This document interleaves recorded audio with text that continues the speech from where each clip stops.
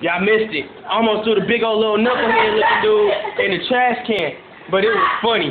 And I'm out there, this big old Pippi Longstocking looking thing in in the trash can with her super uh, Skittles uh, shirt and everything. Got, got like all types of colors in that mug.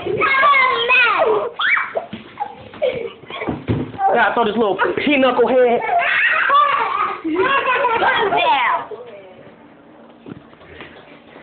See, that's why I can't stand little kids. How they gonna do the little fake cry? Oh my god. Go sit down and watch a movie, man. That's why I can't stand these little kids, man. Like, dang. Hey, but they listen. That's good. I think. How y'all doing? What y'all know?